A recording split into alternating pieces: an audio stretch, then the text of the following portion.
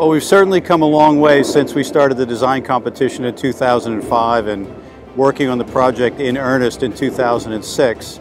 And I have to say, standing here now uh, at the end of milestone three with the first buttress in place, um, the feeling is a bit humbling to be standing here now and knowing that in just a little over three years this project will be complete.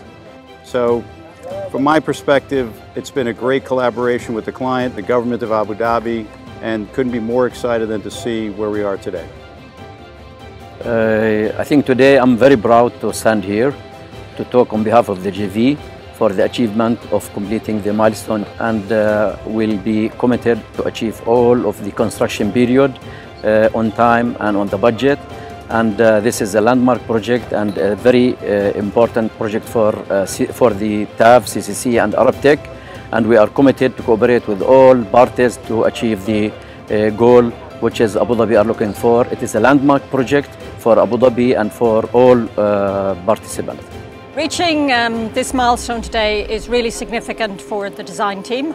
Um, particularly, I'd like to say for the structural engineers, there are so many people who have worked so hard on the design of the concrete structure and of the roof that at this point they can see for real what they have designed.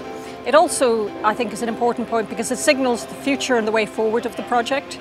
We can see today the structure, uh, the concrete structure is going to be behind us. We're looking forward to um, the erection of the roof and really we're beginning to see the first form of what the final building will look like. So we are extremely excited by this.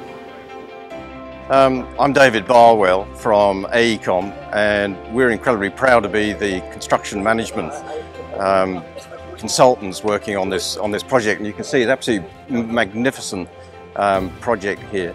Um, the achievement that has that has um, recently been achieved here um, is putting in the, the buttress which is to get to this stage on time has been an incredible achievement by the team, bringing everybody together. It's really been an integrated effort.